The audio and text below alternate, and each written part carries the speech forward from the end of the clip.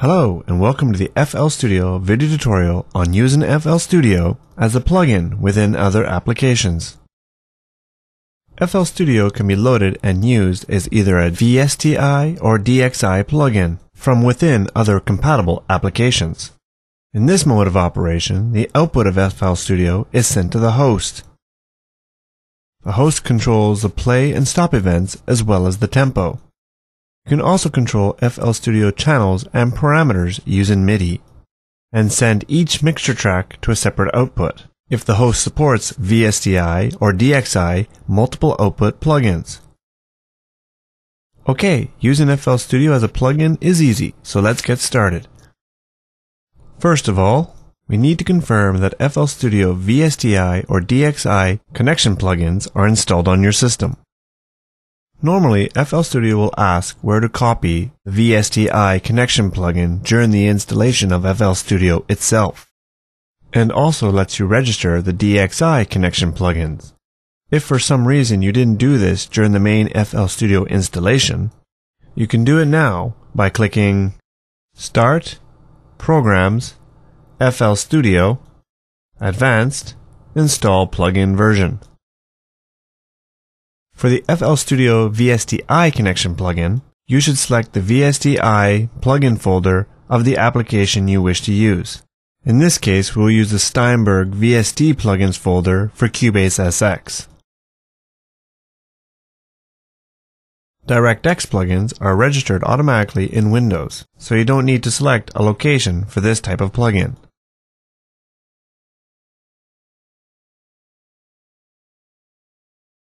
Okay, now we have the FL Studio connection plugin available in our host program.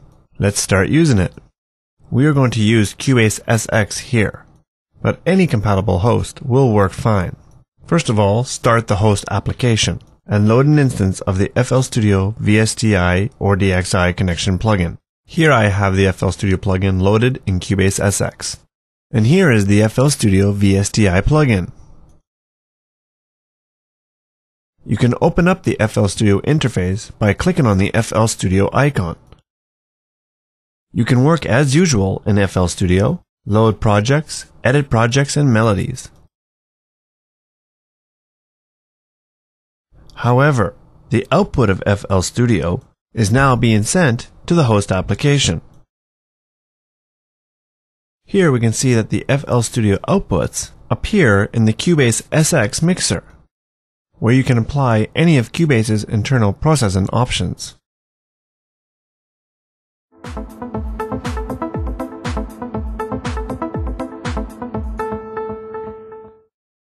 If we increase the tempo in Cubase, we can see that FL Studio is synced to follow the tempo of the host application.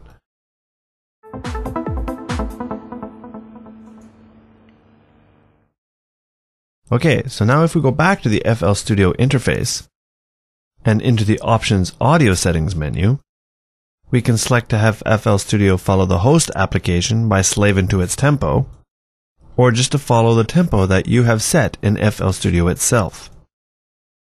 The FL Studio plugin back here in the host application also includes a time offset control, which allows you to control how many bars earlier FL Studio will play compared to the host.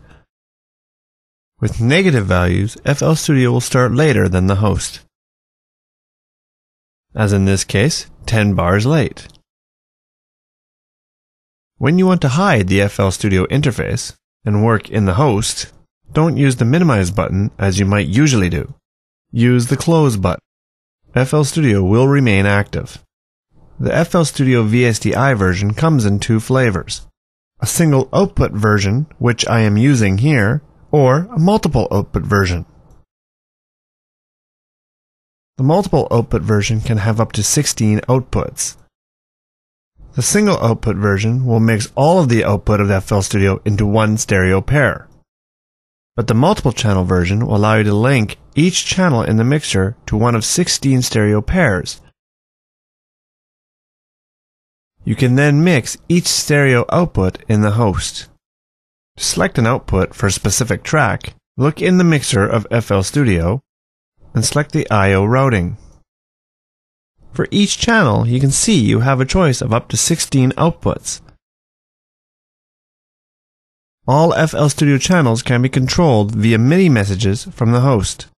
To do so, create a MIDI channel in the host and assign its output to FL Studio. Then, from the instruments list, you'll be able to see all the different instruments that are available in FL Studio. Just select the name of the channel you wish to control. Okay, that's about it. We hope you've enjoyed this tutorial, and you now have a good feeling for using FL Studio as a DXI or VSTI plugin from your host application. Of course, there isn't time in a short video to cover all the possible options. FL Studio comes with excellent online documentation, which you can use alongside this tutorial to answer more detailed questions as your knowledge of the program increases. Thanks for your attention and have fun with FL Studio.